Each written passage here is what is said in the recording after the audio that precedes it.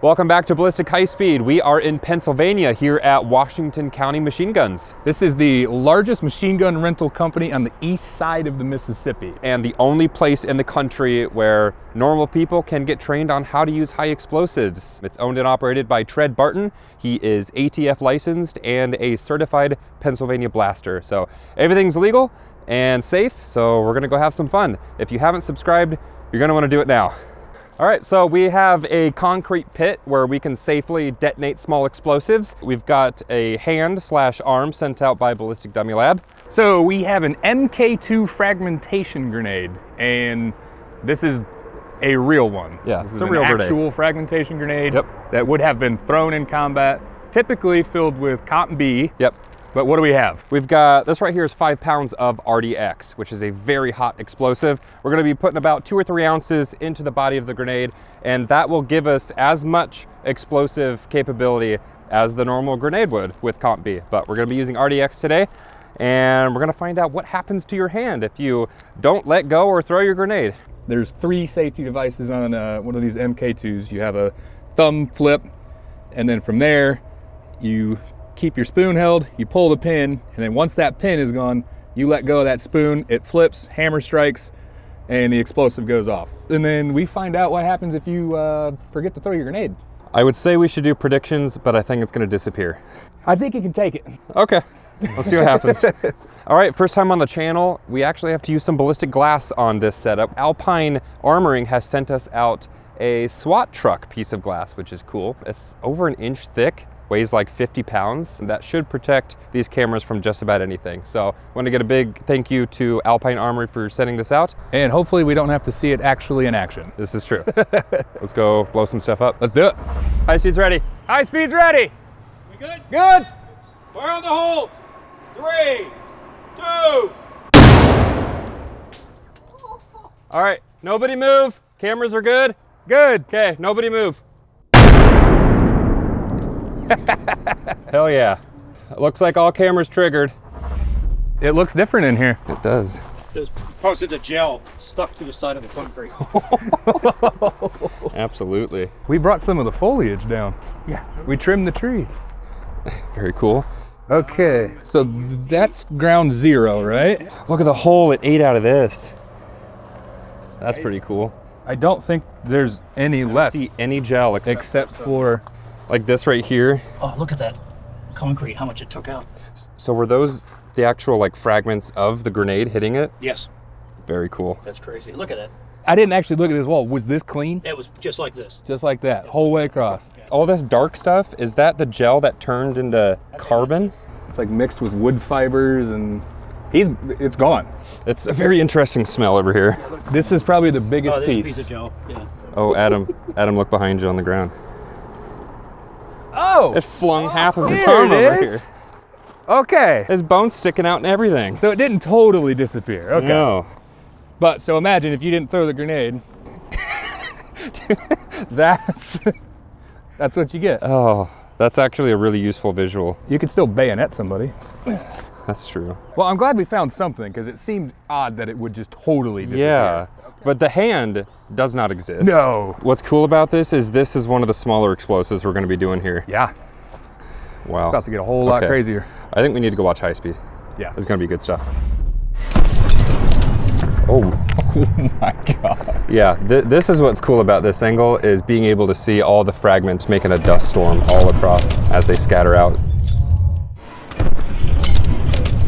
Still don't see the main body. Of the arm? Yeah. Hmm. It's probably just so slow in comparison. Oh, there, There it it is. Oh, look at that bone.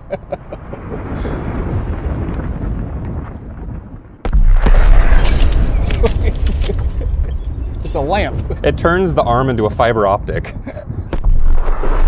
Even the gel is hitting the concrete so hard that it's knocking dust, Dust and off, yeah. pieces of it off. That's cool.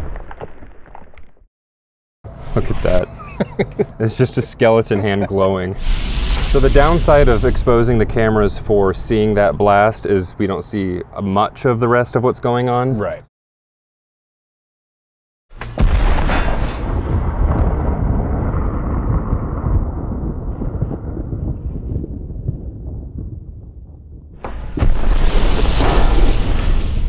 It's really cool to actually see the edge of an explosion wavefront. It's it's always got really interesting texture because it's literally battling the speed of sound essentially Right. up against that air. Yep. So you get all those cool gases in there. It's has to fight then everything coming back off of the wall Yeah. to keep going. All of those wavefronts coming back and forth. So while we may not see it as much in the, the actual fragmentation grenade, that is happening. Yep. Alrighty, up next we're going to be testing a different explosive on the same type of gel arm. The real deal dynamite. This is Dyno Nobel dynamite. It is not a binary compound makeup. This is As real as it gets. as real as it gets. Yep. So this is a bundle of three. Uh, we are only going to be using one for the arm Yeah. because we would like to have, try to have something something left. Yeah, three would probably be overkill. But Yeah. in comparison, this is going to be a whole stick of dynamite, and it still may not even be as much as the RDX was. So um, it'll just be a different type of explosive, and we'll see what happens. This should be roughly emulating what would happen if you were still holding it and it went off. Right. So I don't know if you can see on that, but you can see with my hand a stick. It's it's quite long. So it's kind of the same setup as the fragmentation grenade that we did. He's holding onto it, and then here in a second we're gonna get this all hooked up, get back to a safe distance, blow it up, and see if anything survives. Okay, ready, ready. All right, we're ready. Good? Okay. Woo! Good stuff. Yeah. Hey, there's gel raining down. oh my goodness. We definitely made a hole. So maybe a, a stick was a little more powerful than we thought. Aha. I thought that was a rock. So we're already off the bigger chunks, Yep. but That looks just like the first. I know. so, again, Uh, that doesn't look quite as, ba- as bad as the other one. Let's show those side by side. I'm wondering if, like, that's from the bone, but I'm wondering if some of these aren't from the fragmentation, like going It back looks like it got and ripping it. Where like this filleted. one, it just went like Yeah. away. Well, not to mention the dynamite went further under the arm physically Yeah. than the grenade did.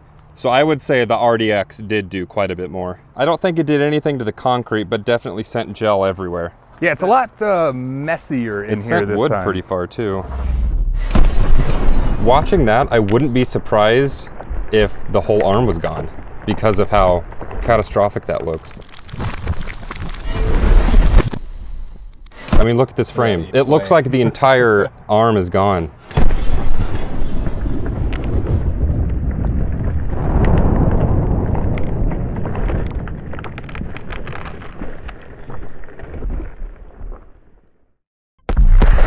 Oh my. Cool.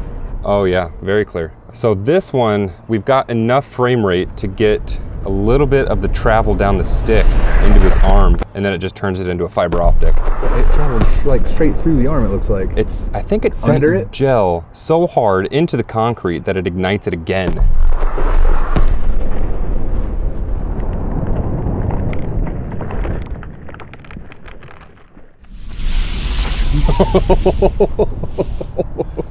There's so much more to be revealed when you up the frame rate that much. This is what we're usually filming bullet impacts at, but Right. now we're looking at a hand and arm get totally eviscerated. And you can Yep. see it grow down the entire stick.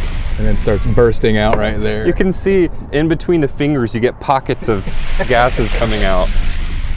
It's all about least resistance, right? And then there's it impacting on the wall, igniting all that again, just from pressure building up so rapidly. Wow. but yeah, in real life, Yeah. Our third test is going to be something called det cord. This is quite a lot of it. So we trimmed off maybe two feet or so and shoved it through a hand. I'm hoping he survives. I hope it just, just opens. But I don't know. This stuff travels at 20,000 feet per second as it's going down the line. That's faster than like any bullet I've ever heard of. That's insane. So this is made of what, PETN? PETN, correct. Hopefully we'll get a cool unobstructed look at the blast and then we'll see how it interacts with gel. Probably dim it down and concuss it a little bit more Yep. and then another unobstructed view. So that'll be, I think that'll be really cool. I hope it opens and we're left with the wrist because the other two, we, we don't get any of that. It's Yeah. all been, it's all gone bye-bye. This should be less overall explosive in the hand. Yes. So we should be okay. But this is 50 grain. 50 which is grain. good to mention. yes. So- Yep, 50 grain. It ain't 400, but it'll do. Okay, is everyone ready? I'm good. Ready, ready. Three, two, one.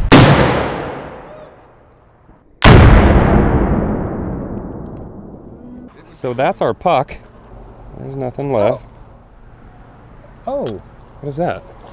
Um, I think that's that. So that's what those are the things that go inside that. Yep, that, that looks like now. it coincides with. Okay, so the that. hand didn't disappear. Okay. Is there any bones in there? Or do they all fly out? They all flew out. It looks like this ripped straight open. Okay.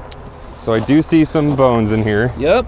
It's a graveyard. Bones. Um, it's hard to tell if these are from Yeah. previous explosions. Okay. Ballistic high-speed puzzle factory. I think it's safe Okay. to assume you shouldn't be holding det cord when it goes off. I could take that. Could you? You're built different. Built different. RDX, dynamite, and det cord carnage. Oh, don't forget this one. Oh, thanks. You're welcome.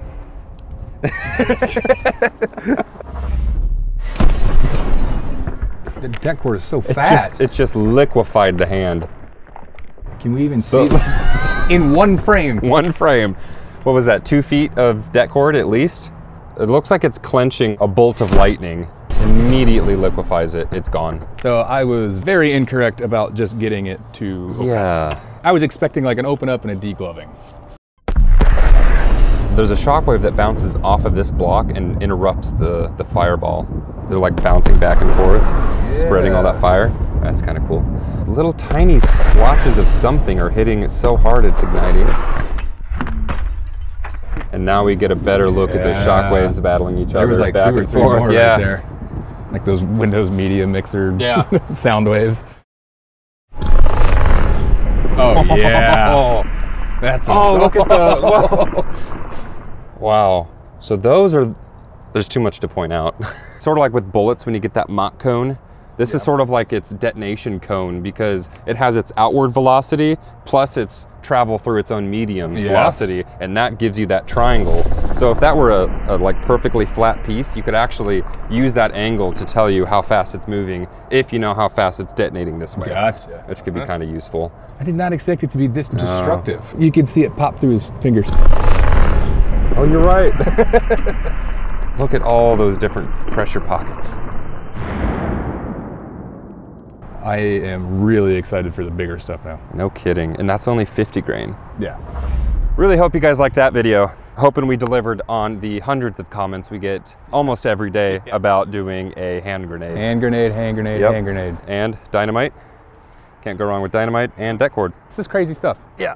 Thanks to these Ballistic Dummy Lab analogs, we've got a pretty good idea of what might happen if you're not careful around explosives. Uh, you said what might happen, not what will That, happen. that's what would happen, except a lot more blood. yes. Yeah.